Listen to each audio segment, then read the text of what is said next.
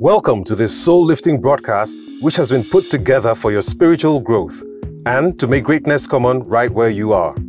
Be sure to make the best of this moment as God takes the lead in all that concerns you. How to survive relationship storms, how to survive relationship storms. I wanted to call your, your, your friend if you, uh, whether home alone, in the car, on the train, wherever you are right now, or in the gathering, uh, you know, take distractions away from you. Get somebody who needs to listen to this. Encourage them also to go to our YouTube channel and binge watch uh, the, the messages in the series. Last uh, Sunday was very, very powerful. And I, I want love in his image. Uh, you know, I want you to go ahead and watch that. You know, it, it, it's also very powerful. We also have some, uh, I'm sure by now, some video expressions of what happened in some of our physical gatherings. Uh, um, uh, vow renewal uh, in, in one of our services uh, in those physical gatherings was powerful. Uh, you know, marriages were healed, hearts were mended, people were encouraged. We celebrate success in marriages. We're not only going to be emphasizing what the devil is doing, we also want to emphasize what God is doing. For one relationship that has failed, there are 10 relationships that are standing and standing strong. And we celebrate the gift of God in our lives, in our marriages, in our relationships, in our business partnerships, in Eh, you know, in career partnerships, in different things that God is doing. God, who, who you know, who is the one that plants us in relationship, who says he, he, he put the solitaries in families for a purpose, which is companionship, that our lives can gain progress. He said it's not good that man should be alone. I will make him a helper. And he's still making up till now. He's still connecting people. He's still, you know, bringing people together. He's still orchestrating destinies. And I pray this season that God, our God, is orchestrating uh, great connections into your life in the name of Jesus. And for as many that need, you know, uh, a great connection to fulfill their marital destiny, my God is orchestrating your portion this season in the name of Jesus. You will not lack, uh, you know, of, of, of a loving mate in the name of the Lord Jesus. And for anyone who may have gone through a relationship storm, whatever kind of relationship storm, uh, a separation, a divorce, or several, you know, broken relationships that are supposed to have led into a marriage. And maybe now you, you've taken uh, some kind of sabbatical and you're telling yourself, you know, I, I, I can't kill myself. I, I, I, don't, I don't want to become an emotional wreck. You know, I've tried, but things are not working. God has a plan for your life. He has a plan for your life. Can you hear me tell somebody that's around you there? Say, God has a plan for your life. Uh, go into the chat room if you're on any of our social media platform. Say, write it there. Say, God has a plan for my life.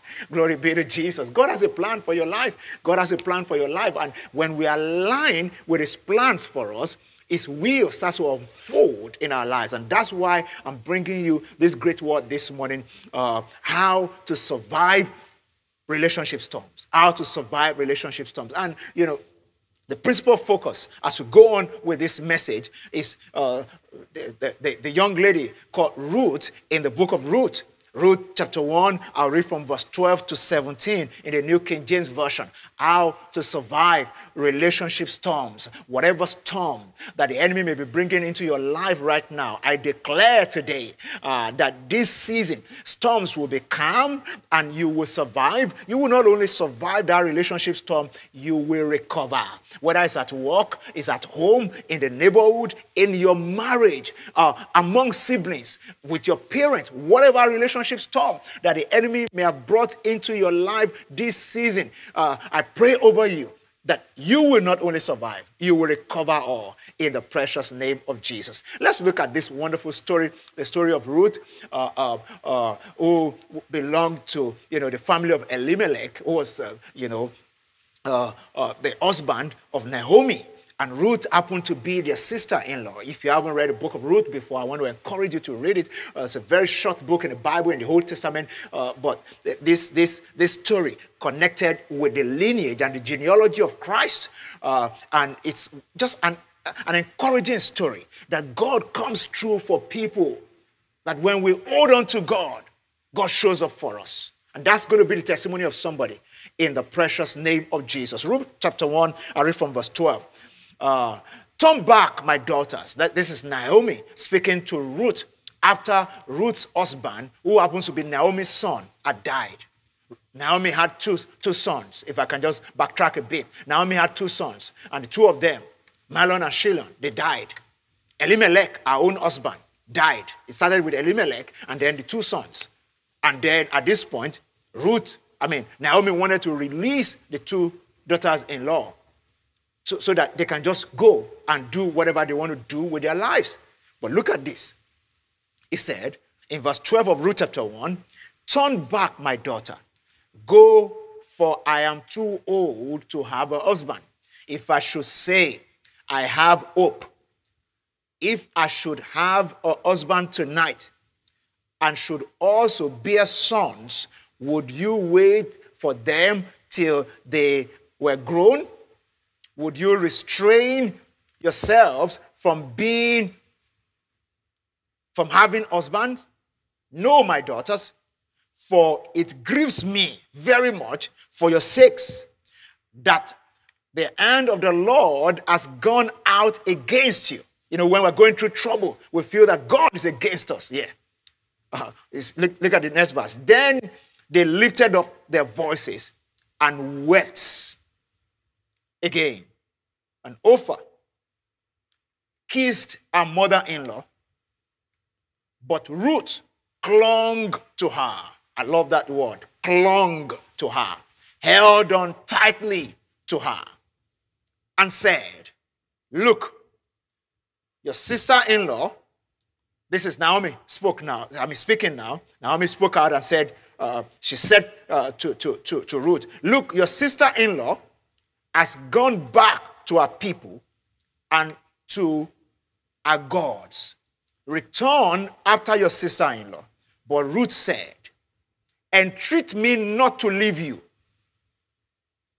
I love that. Entreat me not to leave you or to turn back from following after you. For wherever you go, says, For wherever you go, I will go, and wherever you lodge, I will lodge. Your people shall be my people, and your God my God. Where you die, I will die, and there will I be buried. The Lord do so to me, and more also, if anything but death parts you and me. The Lord bless the reading of his word. It's very interesting demonstration of commitment to the will of God, commitment to divine purpose, commitment to divine orchestration, uh, or show of conviction in the relationship that Ruth had with Naomi and the entire Elimelech family. Now, it's important at this point, before I go any further, to make somebody understand that something is, uh, you know, is, is, is, is being removed consistently from our relational life, you know, as modernization uh, uh, starts to creep in. As people start to think that relationships are not that of a big deal. You can go with this or go with that. I can be with this person or be with that person. The place of a Christian relationship that is rooted in a divine conviction as is gradually being eroded. And if you're single, please listen to me today. That God still puts, gives us direction and conviction about who to go with and who not to go with. About which opportunity is your opportunity. Perhaps you've been single for quite a bit. Uh, you're mature single. You, you, you, you know, you, you're in your middle age and you're still single. Uh, the possibility is that you, you, you, you know, you become that kind of agitated. In fact, you've gone maybe past agitated or anxiety. You just, just give me anything anybody would do. God's will is not anything or anybody. Yeah. God is the one that puts a conviction in our heart.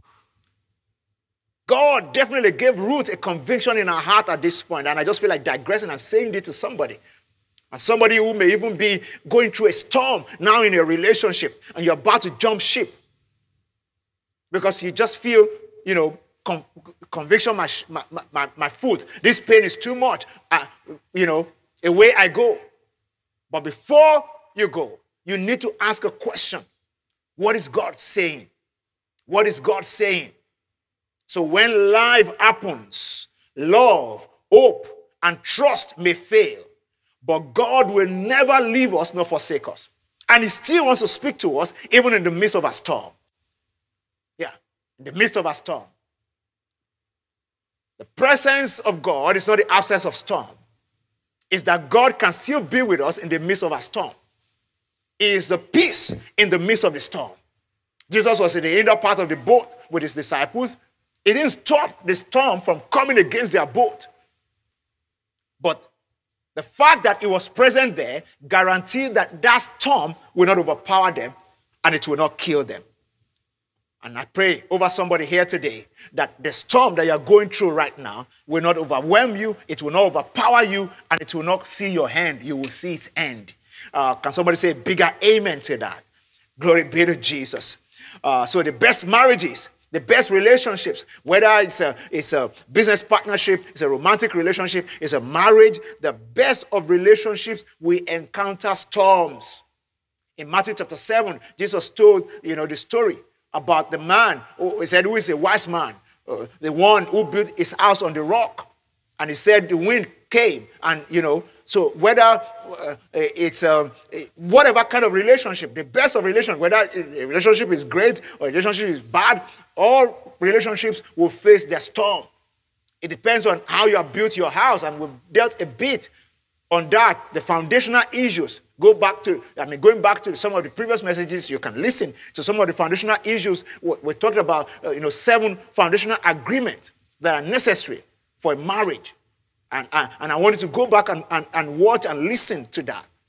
But you need to understand that the Bible says in Luke 17 and verse number 1, the big part, it said it is impossible, but that offenses will come. Yeah. And what does it mean? It means that offenses will come. It means that storms will come, winds will come. They come to test the mettle, or, you know, of your relationship, the foundation of your relationship, the strength of your relationship. Uh, they're not coming, you know, to destroy what you're building because God will, will, will, take you through it and you will become stronger. Say amen, somebody. Glory be to Jesus. Ruth uh, was a classic, a classic example of experiencing a storm with major setbacks. Young lady got married. Look, I mean, what happened to Elimelech and his family looked like a COVID experience. But how do you ex- explain that the man of the house, Elimelech, would just die like that? And then Mahlon and Shilon, the, the, the, the sons, will also just go like that. Something just came and ravaged the male in the house, like a virus or something. And it was a, a, a huge storm, starting with Naomi, losing her husband, then losing two sons, and then Ruth, a young lady who was just starting her own life, because sometimes, you, you, you know, we blame God when we go through situations. God, why didn't you stop me from marrying into this family? Why didn't you stop me from marrying this supposed knucklehead? Why didn't you stop me from doing this and that? Sometimes it's too late to be saying all those things. Is to be able to ask God the question, how do I survive this storm that I'm in? The storm is already here. Ruth experienced a storm. Yeah. And she also offered us an amazing encouragement about walking by faith. Yeah, in our relationships with God. Walking by faith, holding God true to his word. She highlights the, you know, the place of revelation and conviction in, in, the, in, in, in relationships. The fact that there's a place for revelation knowledge. There's a place of understanding that God has planted me here. And until God says no, I remain in the place I have been planted. The Bible describes one of the metaphors in the scripture with which the Bible describes believers. He said, We're trees of righteousness. Trees are planted. They that are planted in the house of God, the Bible says they will flourish in the courts of our God. Have you been planted in a relationship? Don't uproot yourself prematurely. Hear what God is saying. God may have a bigger plan, the storm notwithstanding. No storm lasts forever. Say amen, somebody. Yeah, yeah, yeah.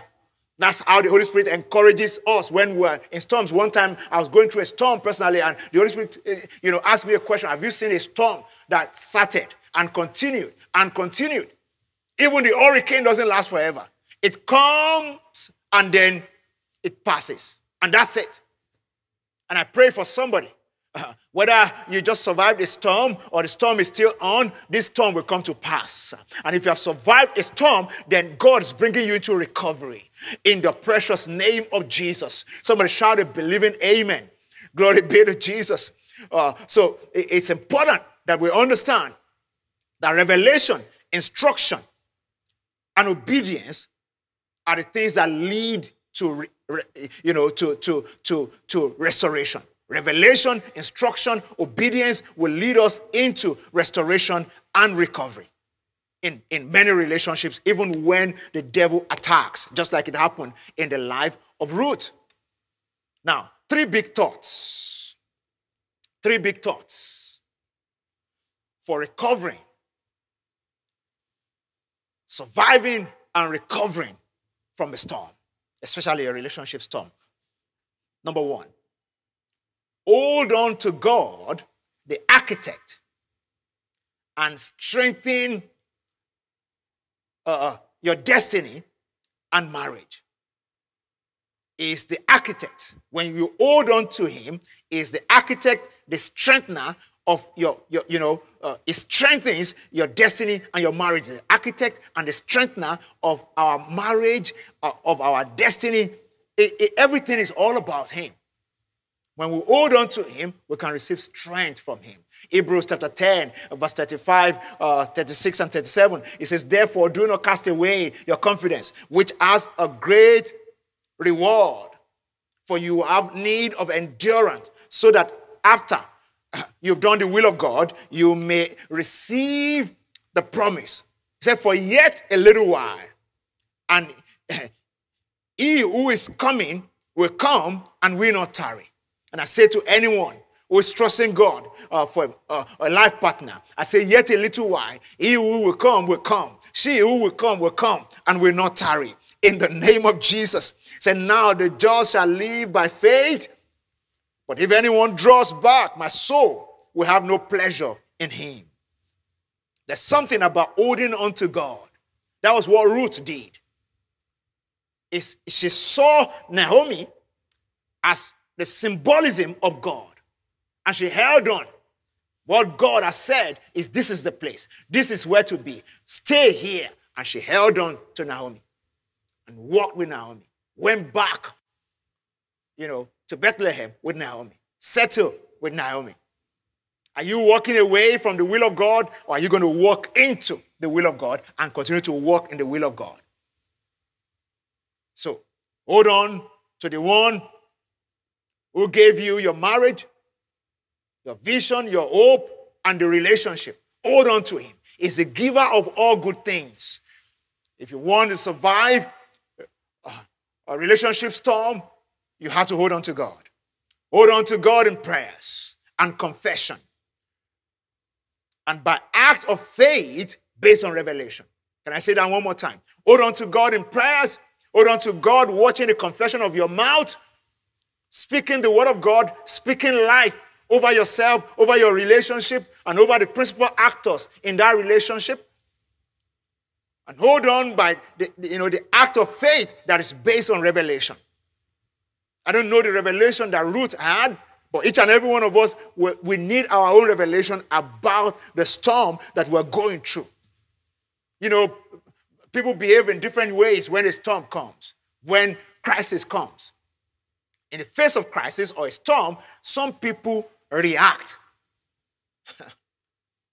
in the face of, you know, of, of, of crisis and, and, uh, uh, and a storm, some people wait for revelation. There's a difference between revelation and reaction. Yeah. Uh, uh, reaction is just, you know, uh, I just react. I just act. I just act based on impulse. But revelation is what I get that shapes my conviction and redirect my action. Can I say that one, one more time? Revelation, when it dawns on you, it shapes your conviction and then it dictates your action. It dictates your action. It dictates your action. A responsible person, a responsible believer, does not just react to anything. We move based on revelation. We move based on, that was what the difference between Orpah and, uh, uh, and Ruth. One responded to the storm and everything, lost hope in that place and in that family, and let's forget everything. While Ruth said, Where you go, I will go. Your God shall be my God. Something told her there's something about the God of Naomi and Elimelech, the God of Bethlehem, the place of bread. That God, that God, something that's happening in her heart. What is happening in your heart in the midst of your storm? Is your conviction still strong to hold on to God? Are you still praying about that relationship? Or have you jettisoned any act of prayer? Do you still pray for that spouse who may be misbehaving right now? Yeah. Are you concerned about the speed at which your relationships are breaking? Are you going back to God to be able to speak to Him so He will direct you, order your steps, and give you wisdom? Or are you giving up and saying, Look, I've tried. I've tried. Maybe I'm not supposed to be in a relation. Maybe I'm supposed to be alone. Maybe I'm supposed to be depressed and despondent. Maybe this is my own life. Though I don't know why God would make my life be like this, that's what some people would be saying, you know, rather than saying, look, there's, there, there's always a way out. There's always something that God is about to do. So it's time to hold on to God in prayer. Ask God for specific instructions and wisdom and direction.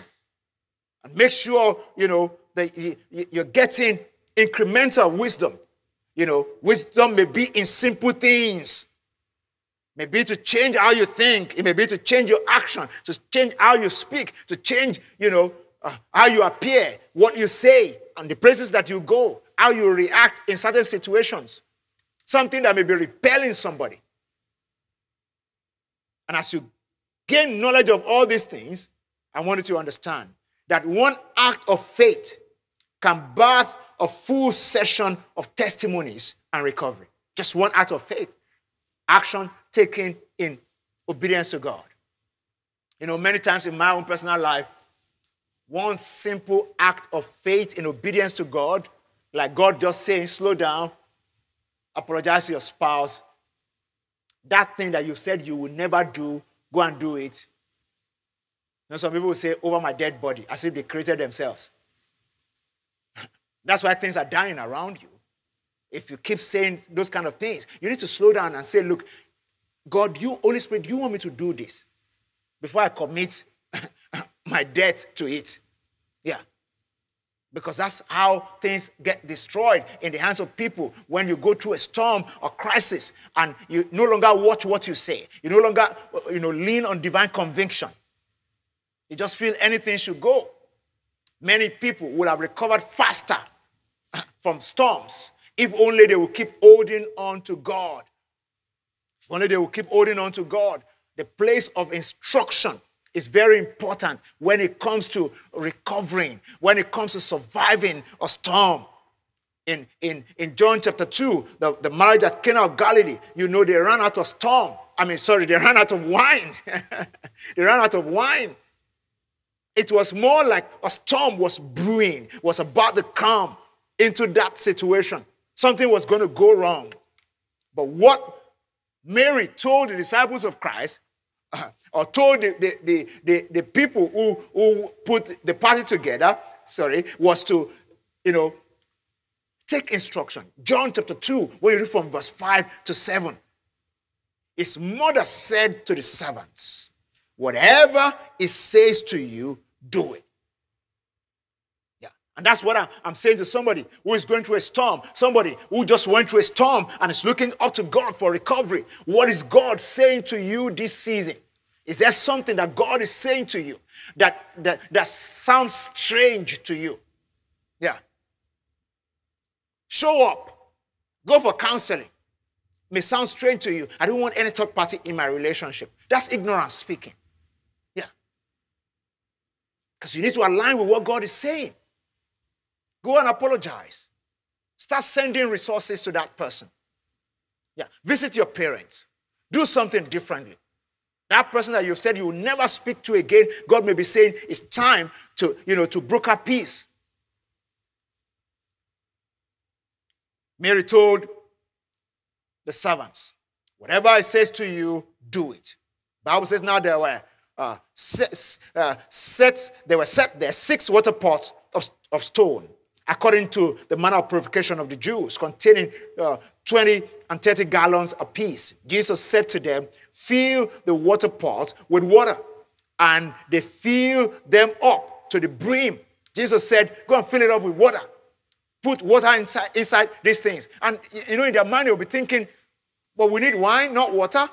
It's not water we're looking for, it's wine. And Jesus said, No, this is what you put in.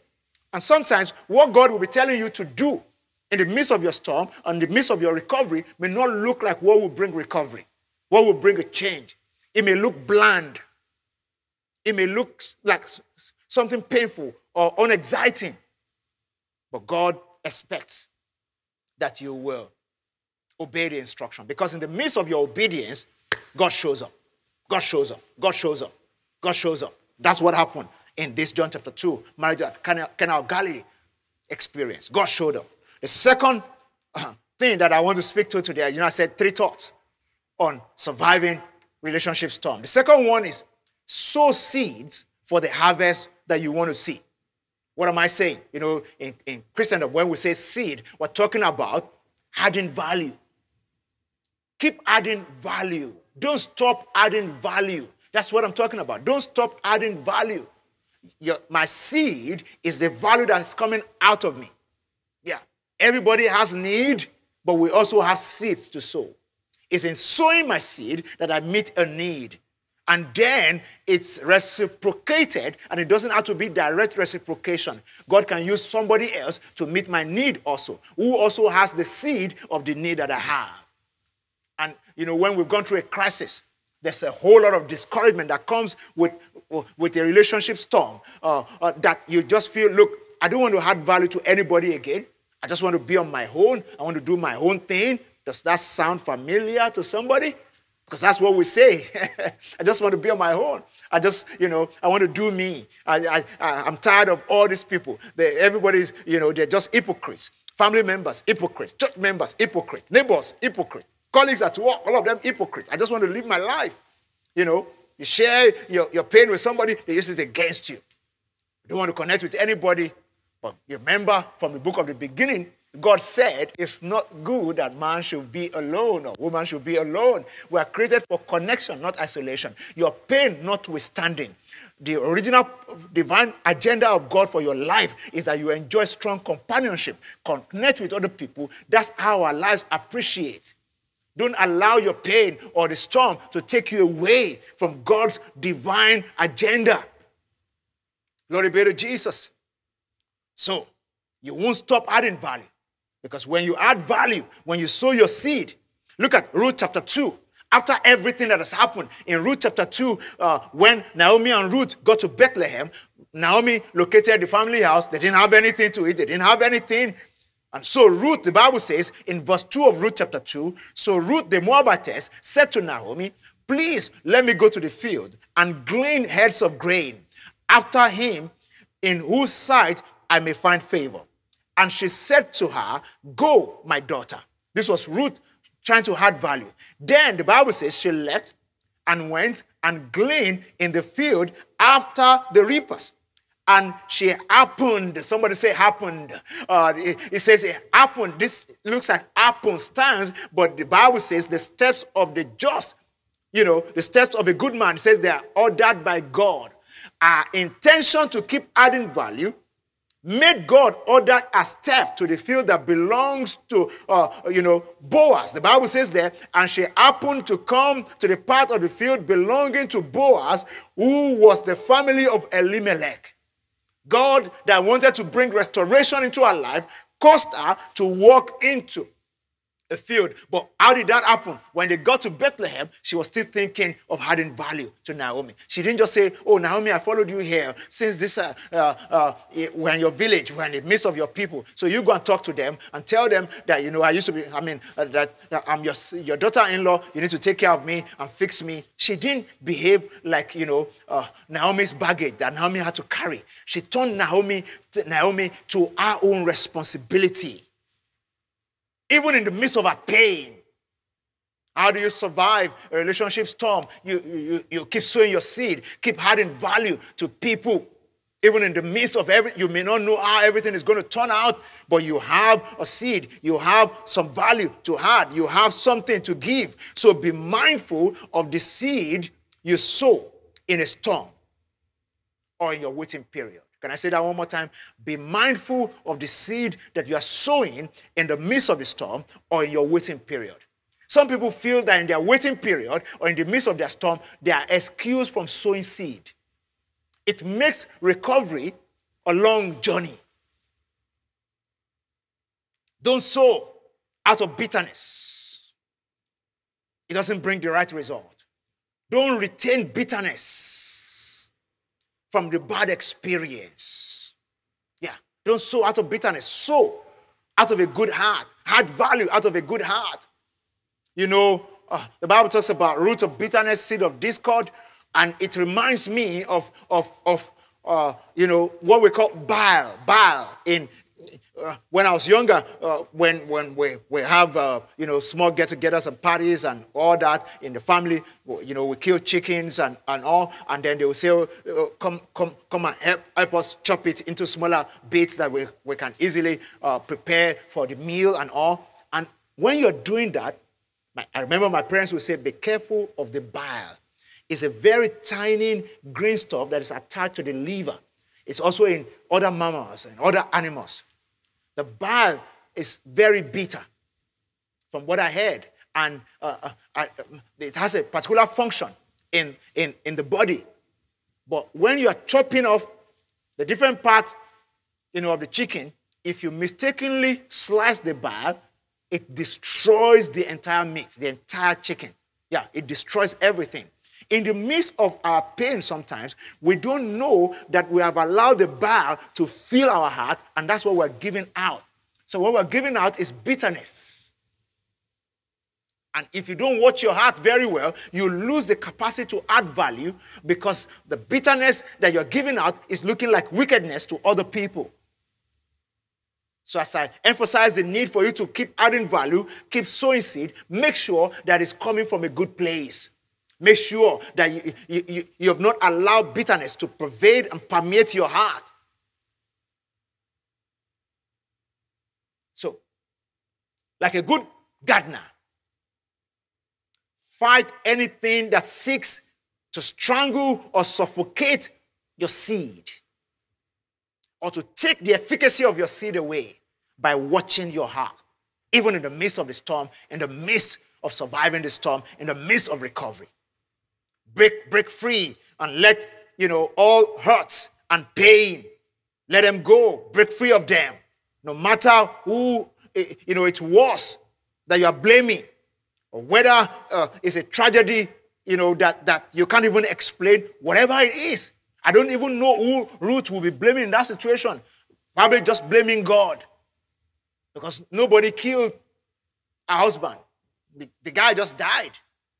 And in some situations, a bitter breakup, you're blaming your friends, you're blaming your, you know, your ex, you're blaming parents, you're blaming other people. It's time to put an end to all that blame game and allow God to move you into full recovery. And that will be the testimony of someone here in the precious name of Jesus. Somebody say, better amen. You know, the Bible encourages us to keep just keep sowing seed. Psalm 126, when you read verse 5 and 6, Psalm 126, verse 5 and 6, it says, Those who sow in tears. So it's possible to be crying and still be adding value. Those who sow in tears shall reap in joy. He who continue, uh, uh, continually goes forth, weeping and bearing seeds for sowing, shall doubtless come again with rejoicing, carrying his sheaves with him, his harvest with him. Some people in just a relationship breakdown, you stop caring. You, you, you, you allow the, the devil to, to, to bring wickedness into your heart. We hear about relationship breakdown where somebody who has the means to pay children's school fees and pay accommodation say, I'm not going to do that again. Just because a woman turned herself against you, then everybody has to be punished for it, including your children. You don't mind if they're on the street. That's not a Christian way. uh, to walk through a relationship storm. You have to keep adding value according as God has given you capacity. There's always a seed in your heart, in your hand, that God wants you to release. So don't over focus on your need, also focus on your seed. The last thought for this message repentance brings revival and restoration. And I'm speaking to somebody who knows that you need to repent of certain things if you're going to be able to survive this storm. That maybe some things you've done in relationship brought the storm. You know, if you remember the story of the prodigal son in Luke 15, uh, in Luke 15, the Bible talks about Jesus told the parable of the prodigal son, the story of the prodigal son. It was he was the one that initiated a transition in his life, asked for his inheritance, and went off to a strange country, lived riotously, uh, and his life you know, went south to the point that he couldn't even feed himself. He had to be feeding uh, uh, with pigs.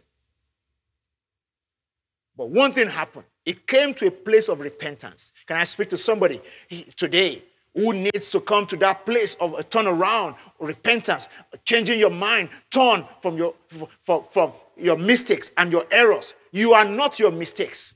You may have cheated in a relationship. You may have broken your, your vows, but that's not who you are. See yourself in the light of Christ, the giver of grace, the one who transforms lives. You may be, you may, you, you know, you may have been a perpetual liar.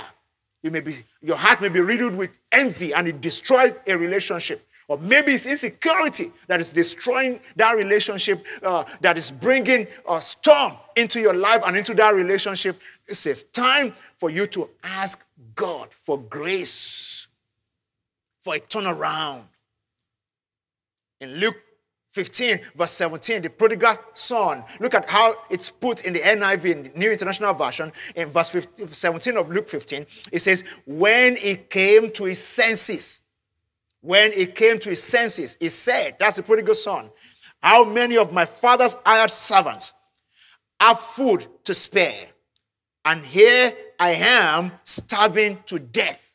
Somebody needs to say, Look, Sometimes we need to accept I brought this storm on myself. I need the help of God. I brought this storm on myself. I need the help of God. Maybe somebody's saying that with me today. And God uh, that you are entreating is coming through for you this season. Grace is coming upon you to see you through that process of repentance that will lead to restoration and a revival in your life in the name of Jesus. And when you've come to that point, you also need to activate a godly action plan that will lead to full restoration. That was what the prodigal son did. When you read the, the, the following verse, uh, uh, verse 18 and 19, I read it in the New Living Translation. It says, I will go home to my father and say. So he, he marshaled a plan, an action plan. I will go home to my father and I will say, Father, I have sinned against both heaven and you. Not just God. Sometimes we don't only sin against God, we sin against human beings. And we need to accept I wronged my spouse. Yeah. That business part, I cheated my business partner.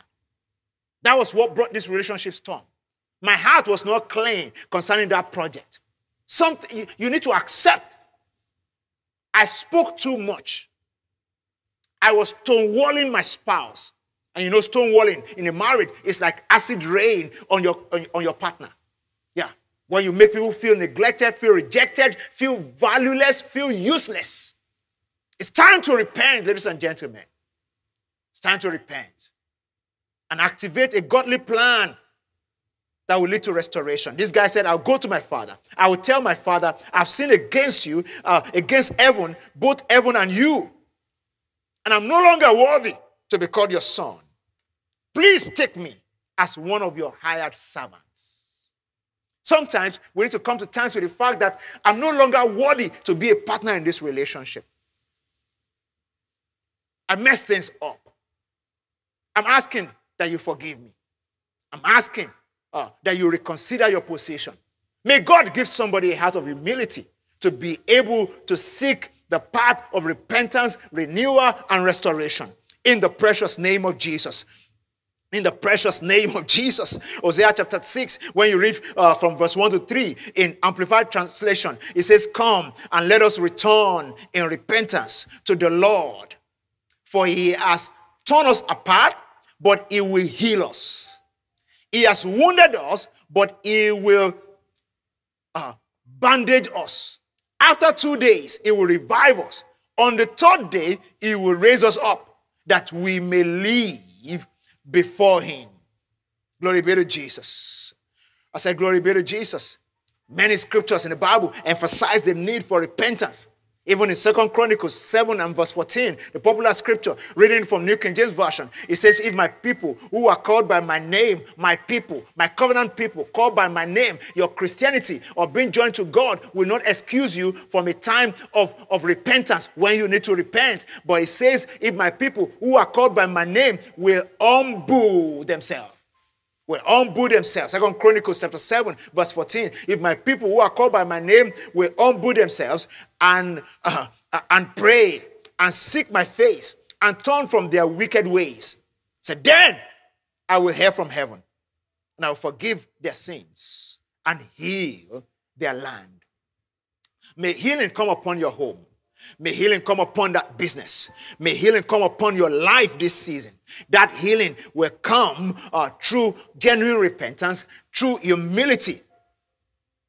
God is a healer. And we can count on his faithfulness all of the time. But we must remain humble enough to repent every now and then, every now and again. We must learn to repent consistently. And I'm speaking to somebody here today who feels, I don't need anything to repent from. Maybe you need to check your heart very well. Maybe you need to check your heart about what brought that storm. Sometimes we blame a storm only on one person. And Jesus said you need to take away the log in your own eyes before you take away the speck in somebody else's eyes. And when we distribute, you know, uh, blames like that, we, we, we absorb ourselves.